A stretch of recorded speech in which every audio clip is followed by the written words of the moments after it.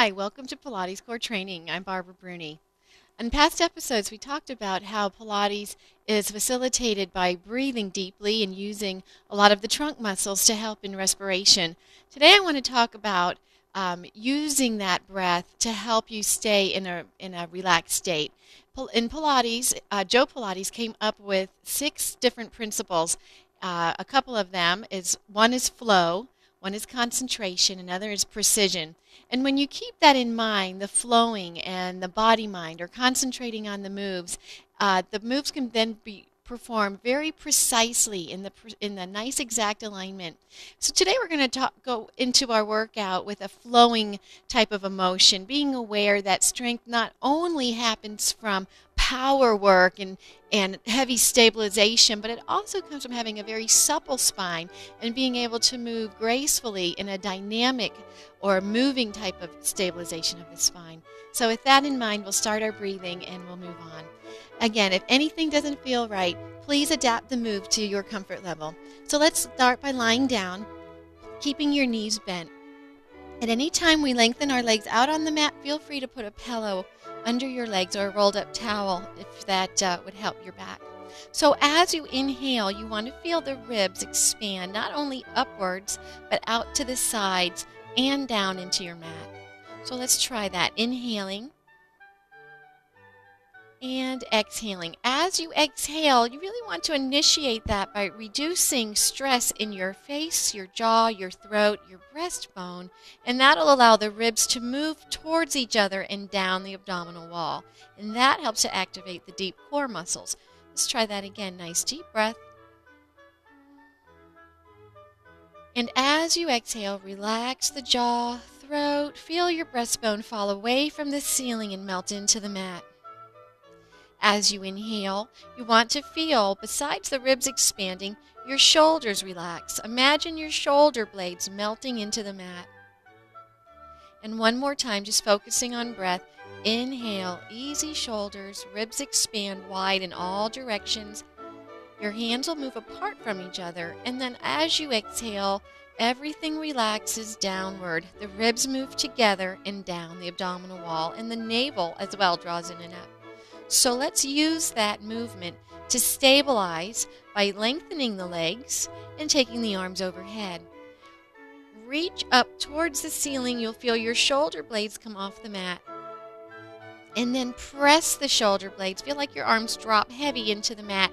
Keep your shoulder blades against the mat and inhale.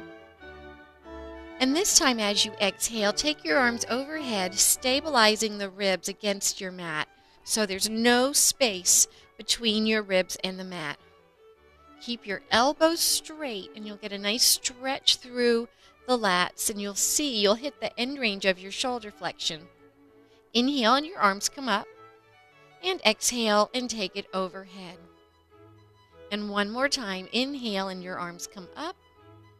Exhale, take it overhead. Use the breath to supply that stabilization for your core. Inhale, bring your arms back down and by your sides. Keep that width and keep the imprint. We're going to change it as you exhale. You're going to lift your head, neck, and shoulders. So rather than constantly thinking that this is just working the muscle, think that it's the muscle that's trying to get a little more movement out of your spine. And inhale and release. So as you exhale, think that you're lengthening your spine through the top of your head and you're lifting from just under the breastbone, trying to keep your shoulders off the mat. Neck is very easy. And then inhale and release. So let's do five more. Exhale to lift, shoulders stay wide. Reach your hands towards your feet. Inhale to release. Exhaling, using the same breath you discovered on the warm up. Inhale to release. And last three. And release. Exhale, think, relax your jaw, throat, sternum, ribs move together, belly moves in, and release. And last one, exhaling to come up and inhaling to come down. Let's bend your knees, place your feet flat, and we'll start to move the lower uh, part of the spine. So as you inhale, make that big space between your back, anterior tilt, feel the back muscles contract. And then as you exhale, use your abdominals to press your low back into the mat. And then from there, articulate or roll your spine up until you're standing between your shoulder blades. And then articulate the spine back down. So, articulation means to move it very easily, bone by bone. So, rather than just pick the hips up and place them back down, it's almost as if you had a string of beads on the mat or a chain and you pick up one end of it and just very slowly pick up one bead or one link of the chain at a time. And then likewise, when you go down, you place one link or one bead down bone by bone by bone. So it's almost, let's do three more of these. It's almost a sense you have to find that there's less energy as you're moving the spine. So if you're keeping everything tight and tense, you're not going to be able to access as much movement of the spine as if you were letting some of the large muscles relax so that you can have a better pull or a better recruitment of the deeper intrinsic muscles to allow each vertebra to release and float down to the mat. And let's, re- let's rest that, and we'll put that together in a roll up. Hands go behind your thighs, Inhale, now full spine flexion. Lift your head, neck, and shoulder blades. Get as much lift of the upper body as possible. Then exhale, posterior tilt. Press the low back into the mat. And then use your thighs, press your thighs into your hands to help you roll up. So when you come up, you're going to stay in a rounded position. Try not to let your feet stop you or your back stop you. Keep the belly in. Inhale. And as you exhale, tail tuck, round your low back, and let one bone touch down at a time. Inhale, let's do that all in one breath. Exhale, lift your head, keep your shoulders relaxed. Draw your navel to spine and press your hands, press your thighs into your hands. Inhale here. And exhale. It helps to look down at your abdominals. Because if you keep your vision up, that's going to kind of take away from the rolling. So keep your vision where you want to go. Inhale, shoulders are easy, and exhale, tail tuck. So breathing fluidly. So we're thinking flow of movement. Let's do one more. Exhale to lift, shoulders relaxed.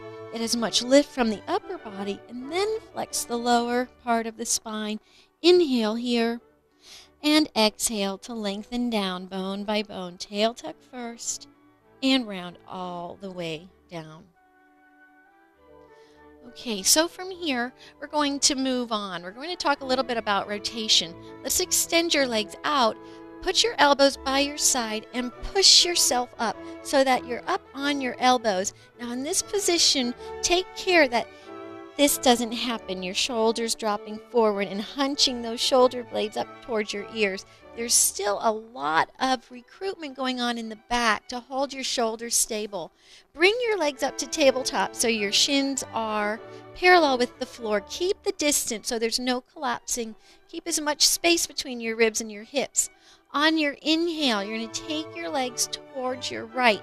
Keep your chest center so you're just rotating from above the waist, below the waist actually, and then exhale to come back. So inhale, take it to your left. Exhale, draw the abs in to come back.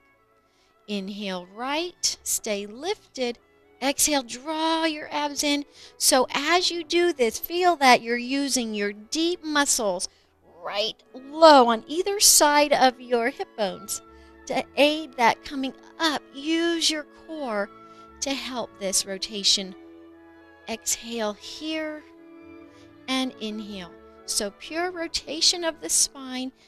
Exhale to come up and inhale to go to the sides. So if you're doing this and it feels like it's a lot of work, continue with the knee bend. If you want to move on, take your legs to the side and then on your exhale, straighten your knees. Inhale, bend through the center and over. And exhale, draw your navel in.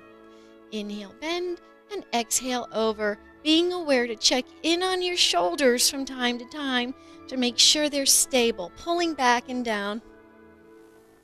Let's do one more set. Inhale and exhale, legs together. Inhale, bend, exhale over, and second exhale, extend up and bend. And place your feet on the mat and roll it up to a seated position. So we were uh, rotating from below the waist. Now we're going to rotate from above the waist, activating the rotating muscles a little bit differently. So let's sit up in a straddle, nice and straight, toes pointing up to the ceiling. Take your arms out to the side and we'll do our classic saw. Inhale as you twist tall. So watch here that you get the twist before you go into flexion so you get each move nice and clean. Inhale, look at your back hand, and then exhale, draw the navel in first and then restack. Inhale, take it all the way around. Exhale, draw the navel in, reach. Inhale, and exhale to come up. So nice spiral tall. Watch for any substitution out of a nice spiral. Then exhale to reach. Hold on somewhere on your leg and give yourself a little extra pull. Inhaling and exhaling up on the diagonal. And again, twist, reach, hold, inhale, and exhale to take it up. Three more. Inhale, exhale, stay here. Inhale, exhale to come up. And last two, reach, inhale, exhale, draw the navel in to restack. Let's do two more. Inhale and exhale Inhale, pull and stretch, relaxing your shoulders. And last one. Exhale to reach. Inhale and exhale to come up. Let's roll over, going right into some nice back extension. So let's start with the feet flat and your elbows by your sides. Lengthen your spine. Reach long out your feet Feel your shoulder blades pulling down your back, not so hard that it stresses the neck, but nice and easy. Feel your collarbones reaching wide to the sides. Lengthen your legs, and on your inhale, lift up just a little bit. Reach out your feet, going as high as is comfortable. And then bring your elbows back down. Inhale. And exhale, draw the navel in, reach the legs long. And then as you inhale, lengthen your elbows, reach out your feet. So you want to feel the glutes kick in rather than sinking into your low back. And release. And three more. Reaching through the top of your head. Open the shoulders, reach out your feet, working to feel the extension staying active between the shoulder blades and release. And two more. Breathing normally, nice and deeply into the rib cage. And last one. Lengthen the legs, draw the belly in, shoulders stay out of the ears, press your breastbone forward, reach your neck long, and lower down. Let's bring the knees under you Hands go underneath your shoulders, knees are directly underneath your hips. Open your fingers wide and lean a little towards the outside edges of your palm. You're going to look over your right shoulder, getting a nice stretch, side flexion. And then over your other shoulder and past your hips. Feel the stretch here. And let's do one more. So, working into creating a little more movement of your spine within a spine or a side flexion. And release it. Let's tuck your toes under. We're going to go into a little more flexion of the spine, stabilization, and then flexion. So, inhale, shoulders are wide. Exhale, lift your knees up off the mat. Hold that. You want to be able to hold it without sinking your lower back or rounding your upper back. Share the work front and back. Now, from here, you're going to press your hips up to the air, straighten up to the ceiling, straighten your knees, and work to get your ears between your upper arms. Press your heels into the mat and draw your belly in. And then as you come down, find your neutral. Shoulders wide, spine long. Inhale. And as you exhale, straighten your knees. Feel as though somebody has your hips and they lift you up. And then lower back down. One more time. Inhale. And exhale. Pressing up. Ears between the arms. Feet down as much as possible. Elbows straight. And lower down. And release it. Let's go onto your uh, onto your left side. Take your left hand and reach it out on an angle. You're going to keep your bottom knee bent and extend your top leg. Your arm is out to the side. We're going into another side flexion. Inhale, a little more intense than the last one. As you exhale, you're going to press up through a side plank and then go up and over. Reach your right hand towards the floor and reach your right rib cage up towards the ceiling. Give yourself a little bit of a tail tuck. Inhale and then exhale, take it down. So, a lot of strength in the standing shoulder. Watch that that doesn't get tense. Keep it away from the ear. Let's do two more on this side. Inhale. Exhale, pull the navel in, organize the shoulder stabilizers, and then reach it up. So your opposition, hand in hand, reaching to the floor, and your ribs and hip reaching to the ceiling. And release. One more time. Inhale. And exhale. Inhale, feel the ribs expand. And exhale and take it down. Let's do that to the other side. So, starting bottom knee bent. You want your top foot to be slightly forward of your hip, same as your hand. You don't want it back behind your shoulder, too much stress in the shoulder joint. All right, so inhale and organize your shoulders. Exhale, kick the powerhouse in to go over. Inhale, press your hips up. Watch that you're on your side. There's no leaning back here. Pull the belly in and release it down. Inhale and exhale, shoulders down. Reach your body up towards the ceiling. And exhale, pull the navel into release. And last one, inhaling. Exhale to go up and over. And inhale here. Exhale, draw your navel in and release it. And lie back down on your backs. Hopefully, you're starting to catch a common thread that every move initiates by drawing your navel in, supporting the back activating the deep transverse abdominal muscle that is just your your natural girdle, your natural your muscle that holds your spine. Um, I don't want to say together, but holds your spine in length. All right, that, then you can move your spine and still stabilize it. All right, so let's move on here. We're going to go into that bridge again, but we're going to make it a little more challenging. So inhale. Exhale, posterior tilt, roll up, get that nice slinky feel, that nice articulation of the spine. Stabilize it now. Now, as you're up here, think your ribs are connected and your navel's drawn in, and give yourself just a small glute squeeze. And that should hold this neutral curve while you're standing on your shoulder blades. All right, lift your leg up and hold it. Now, watch that that hip didn't just fall. You're to keep your right hip of your lifted leg as level or as high as your left. Now extend it up. Inhale here. Now, if this is enough for your left hamstring, just hold it.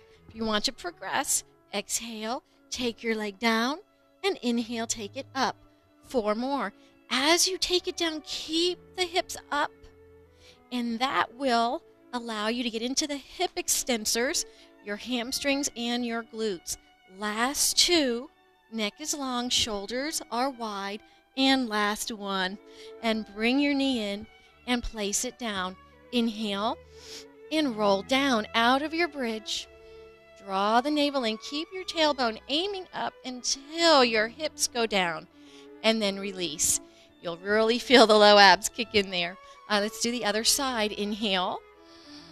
And exhale, roll it up. Again, just as much energy as necessary. Not getting all stressed out and tense over the rolling. At the top, inhale and then bring the ribs down, draw the navel in. Inhale, lift your left leg. Exhale, extend it. Inhale, check your hips. And exhale, lower down for five. And inhale up. And exhale. Watch that your standing foot doesn't roll one way or the other. And down for three. Exhale, zip up from your pubic bone to your sternum every time you lower the leg. And last one here. Inhale and bend your knee. Place it down. And on your exhale, lengthen down bone by bone by bone. Okay, the next one is a roll over. We rarely ever do this uh, on the show, but it is such an important part of Pilates that every once in a while we have to use it. It's where you bring your legs over your head. Um, if you have any neck issues, then you don't want to do this one. Otherwise, we're going to go into the full rollover, which is very similar to the down dog that we did a minute ago with the same degree of flexion of the spine. So on the inhale, you're going to bring your legs up. On your exhale, press your low back into the mat. Bring your legs up. Inhale again. On your exhale, use your abdominals, not so much arm, to roll you over. Now, while you're here, open across your collarbones and try to bring one more vertebra down onto the mat so there's no standing on your neck. You should be able to lift your head at this point so that you're not substituting out of spinal flexion. Inhale. And as you exhale, keep your knees straight. Lower down, bone by bone. Keep your head and shoulders on the mat. And inhale. All right, so here we go. We'll do three more. Inhale, pike your legs in towards you. Exhale, draw your navel in, and then use the strength of your abdominals to roll over. Inhale, shoulders wide. And exhale, draw the navel in. Feel like you're pressing your thighs in towards your body to lower down. And two more. Inhale. Exhale, pike. Posterior tilt and roll it over. Inhale, feel the nice stretch in the back. And exhale, draw the navel in, open the back of your knees, and lengthen down. And last one, trying not to use momentum, but power from the abs to roll over. Inhale and exhale. Pull the navel in and lengthen down, bone by bone by bone. And bring your knees in and feet come down to the mat. Let's push over to one side and sit up and we'll go into a little more of a side stretch and we'll go into mermaid. Put your feet together on your left hand side of your body, stack your knees over each other, and stack your feet. Walk yourself up with your right hand until you're at the point that you can take your hand off and you're balanced here. Lifting tall, pull the navel in, take your right hand and reach overhead. Relax your left shoulder Feel as though your left armpit just melts down your waist. Now reach through your right hand. Press your right rib cage away towards the wall that it's facing. And inhale. And exhale and release it. Let's go to the other side. Feet to your right. Knees stacked, feet stacked. Walk yourself up with your left hand until you can take your hand off the floor and reach up and over. Breathing. Relax your right shoulder. Reach your left rib cage towards the wall it's facing. Reach in opposite direction with your left hand. And inhale there. And exhale, draw your navel in to come out of that. Moving on, let's roll back over onto your backs. And we're going to do the final exercise, which is called neck pull, which is not pulling your neck. All right, so this one is a little more advanced. You're going to place your fingertips in front of your forehead, elbows wide to the side, just slightly pointing up. Inhale. As you exhale, lift your head, funnel your ribs, draw your belly in, try to come up with the power of your abs. Slide your hands behind your head and give yourself just a very gentle press on the back of your head, looking at your belly. Feel that nice neural stretch. Inhale. And as you exhale, draw the navel in. Keep that gentle pressure on the back of your neck and roll it up. And then relax. We can do several more of those if you have the time, but we have run out of time. I hope you enjoyed today's class. I hope that you have a little more understanding on how to stay relaxed with these exercises and to feel invigorated. Thanks so much for tuning in, and we'll see you next time.